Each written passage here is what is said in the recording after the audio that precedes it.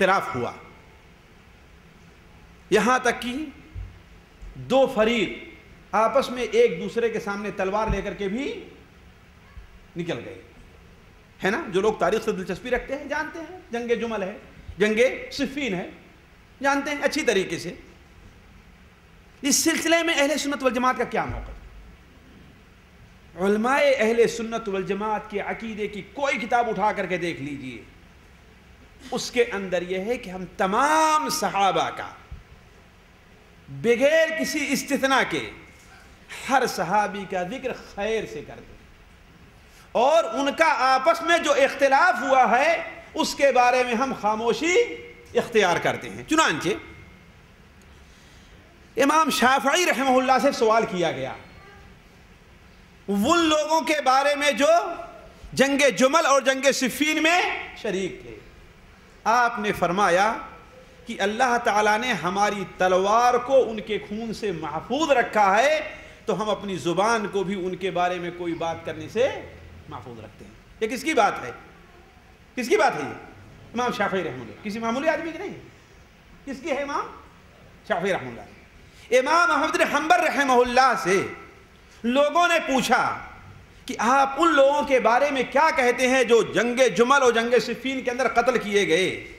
आपने फरमाया तिल का उम्मतुन कद खलत लहा मा का सबत वला कुम मा का सब तुम वला तो सलून आना साबिल जाहिम वो लोग हैं जो किए, वो लेकर के गए अल्लाह ताला के सामने। और तुम जो करोगे, तुम लेकर के जाओगे। तुमसे उनके बारे में कुछ सवाल? यानी क्या मतलब? तुम खामोशी अख्तियार करो। इमाम अबू हनीफा रहमल्ला की तरफ़ जो किताब मंसूब की जाती है अलफ़िकुल अकबर। अलफ़िक फ़िक अकबर। वो और उसकी शरह उठा करके देख लिए जो इमाम मुल्ला अली रहमल्ला ने की है। तकरीबन यही सारी बातें आपको मिलेगी कि सहाब कराम का जो आपस में इख्तलाफ हुआ, उनके बारे में हम हम उनकी नीयतों के ऊपर हमला नहीं करते। लेकिन मसला यह है कि लोग कहेंगे, हम सहाबा को नहीं, बल्कि यजीद को गाली देते हैं। लेकिन सवाल करें, जब यजीद का ज़िक्र आता है तो उसके बाप का ज़िक्र ज़रूर आएगा। उसके बाप का ज़िक्र आएगा तो यह भी ज़िक्र आएगा कि वो खली, उसे खलीफा और वलीहद कैसे बनाया गया। उसमें दूसरे सहाबा का भी ज़िक्र आएगा। नतीजा क्या होगा? बात यहीं तक नहीं पहुंचेगी, बल्कि बात आगे तक पहुँच जाएगी। इसीलिए एक ऐसे ही बड़े ही मुअल्लिफ जिनका अभी उनमें से हवाला दिया। लिखी हुई किताब पढ़ने के बाद एक शख्स उनके पास लिखता है कि जब से हमने आपकी किताब पढ़ी है, हज़रत अमीर मुआविया को रदी अल्लाह कहना छोड़ दिया है। मेरे पास लिखित मौजूद है हमने अमीर मुआविया को रदी अल्लाह कहना नौदबिल्ला यानी क्यों? बात यजीदी तक नहीं रह जाती, कहाँ तक पहुँच गई? जी उनके बाद और दूसरे सहाबा तक। इसीलिए अहले इल्म इस सिलसिले में अहले सुन्नत वल जमात इस सिलसिले में गुफ्तगु करने से बचते रहे। ये दो बात हुई। तीसरी चीज़ बड़े अख्तसार के साथ। वो ये है कि हर बात जो तारीख की किताब में मौजूद है, जिस तरीके से हर वो बात जो हदीस में आई हुई है, आँख बंद करके उसे कबूल नहीं किया जाएगा इल्ला ये कि देख लिया जाए कि वो सेहत के मैार पर, जो उलमा ने मैार कायम किया है सेहत का, उस मैार पर कहाँ तक उतरती है? आया? बयान करने वाला कोई झूठा रावी तो नहीं है। बयान करने वाला कोई ऐसा तो नहीं जो भूलता रहा हो। ये ऐसी बात है जिससे शीयत की तायद हो रही है। तो क्या ये जो लोग बयान करने वाले में कोई शिया तो नहीं है? ये जो बात बयान हो रही है, इससे एतजाल यानी मोतजरी होने की तायद हो रही है। क्या इन रावियों में कोई मोतजरी तो नहीं है? ये बात जो बयान हो रही है, इससे फ़िरक़े मुर्जिया की तायद हो रही है। आया, ये बयान करने वालों कोई मुर्जी तो नहीं है? तो उलमा ने ये असूल रखा है कि कोई बात भी जो अल्लाह के रसूल सल्लल्लाहु अलैहि वसल्लम सहाब कराम या ताबेन उस वक्त की बयान की जाती है हर बात कबूल नहीं की जाएगी, यहाँ तक उसे परख लिया जाए। कि ये बयान करने वाला कहाँ तक सच बोलने का आदि रहा है, कहाँ तक सच बोलता रहा है, कहीं झूठ तो नहीं बोलता रहा। क्यों? इसलिए कि अगर ये मैार ख़त्म हो गया तो हर आदमी जो जिसके बारे में जो कुछ कहना चाहेगा कह डालेगा। होता ही नहीं होता। आप अपने अपने दरमियान में देख लें। बसा औकात एक चीज़ मामूली सी रहती कोई हकीकत नहीं रहती है। लेकिन किस तरीके से लोगों में उड़ जाया करती है? मैं अभी पर साल की बात बताऊँ। पर साल की बात। एक शख्स का, हमारे बांग्लादेशी भाई था और एक पाकिस्तानी था। दोनों का आपस में कुछ लेन देन का वीज़ा खरीदने, लेने देने का आपस में इख्तलाफ हो गया। तो वो मेरे पास आए अपना मामला हल कराने के लिए। चार, दो, चार आदमी बैठे और मसला हल कर दिया और लिख दिया कि हाँ भाई, इतनी तारीख को इतना पैसा देगा, ये देगा। यानी मामला हुआ। नतीजा यह है कि जिसने वादा किया था पैसा देने का, जब हमारे पास से हटा तो उसके साथ ही उसे उभारने लगे कि तुम क्यों पैसा दोगे?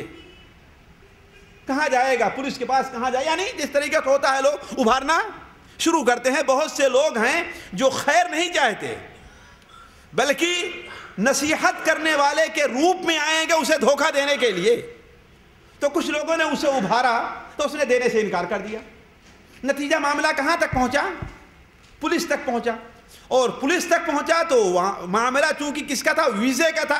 वो कहाँ तक पहुँचा? जवादात तक पहुँचा। पासपोर्ट ऑफ़िस तक। अब पासपोर्ट ऑफ़िस में उसे तय किया गया तो मामला आया कि हाँ भाई, हम लोग अबू कलीम के पास बैठ करके हमने अपना ये ये मामला तय किया था। अब जवाजात के मुदीर ने टेलीफोन किया कि अगर जो है थोड़ी देर के लिए आ जाओ तो अच्छा है। कोई बात नहीं, आपस में हिंदुस्तानी, पाकिस्तानी, बांग्लादेशी भाइयों का मामला है। अगर मेरी वैसे किसी का मसला हल हो जाए तो क्या बुरा है? मैं चला गया। उसी दिन शाम को पूरे शहर के अंदर क्या बात उड़ रही है कि इस मामले में तो शेख मकसूद भी पकड़ लिए गए। अब तो इनको कहाँ, जुल्फी भी बुलाया जाएगा, वहाँ से उनके खिलाफ भी। अभी देखिए मामला अदना सा है। तो कहने का मतलब कोई बात होती है। ज़रूरी है कि यह देखा जाए, उसमें हकीकत कहाँ तक है। मैं अगर अपने ज़िंदगी के तजर्बे इस सिलसिले में बयान करने लगूं तो अल्लाह पूरा वक्त इसी में ख़त्म हो जाएगा, किस तरीके से बात राइस रहती है, लेकिन लोगों के सामने पहाड़ बन करके आती है। बात बिल्कुल झूठ रहती है, कोई उसके हकीकत नहीं रहती है। लेकिन लोगों के सामने इस कदर मशहूर हो जाती है। अभी चंद दिन पहले मेरे सामने एक साहब बैठे, मैं किस जिनसियत के हैं बताना नहीं चाहता? उनसे मुतालिक कुछ गुफ्तु होने लगी, एक साहब से मुतालिक तो कहता है कि अरे, फला जो है ना, उसके मजरे के ऊपर छापा पड़ा, लड़, औरतें पकड़ी गई और फला फला लोग पकड़े गए। ये बड़ा ताजुब हुआ। और मुझे यकीन भी रहा कि यह बात बिल्कुल गलत है। उसके अंदर कोई हकीकत नहीं है। वो आया, उससे पूछा तो कहा किसी तो कोई बात भी नहीं। यानी शहर के अंदर यह मशहूर कर दिया लोगों ने कि हाँ औरतें थी और शराब चल रही थी, चूँकि दीनदार है, कुछ बेदीन लोग होते हैं वो उस दीनदार को बदनाम करने के लिए एक शोधा छोड़ दिया। और ज़ाहिर बात, जानते हैं जिना का, कत्ल का, किसी के खिलाफ कोई ऐसी बात होती है बड़ी तेज़ी के साथ वो जंगल की आग के तरीके से फैलती है। अच्छा बात एक जगह कहीं से निकली रहती है, छोटी से रहती है, लेकिन हर बताने वाला उसमें थोड़ा सा इजाफा कर देता है। वो उसकी वही मसला है ना, कि एक बच्चे ने एक उस्ताद ने बच्चे से पूछा कि सबसे ज़्यादा तेज़ी के साथ कौन सी चीज़ बड़ी होती है? तो बच्चे ने कहा कि मछली। कहा, वो कैसे? कहा, सबसे तेज़ी के साथ नमू और बढ़ने की सलाहियत किसके अंदर है? मछली के अंदर है। उस्ताद ने कहा, वो कैसे?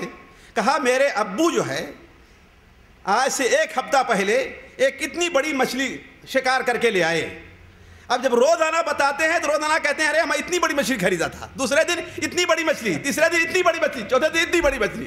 तो इसका मतलब है कि मछली के अंदर सजा भरने की सलाहियत होती है। तो इस तरीके से बात एक हकीकत छोटी सी रहा करती है, लेकिन वो लोग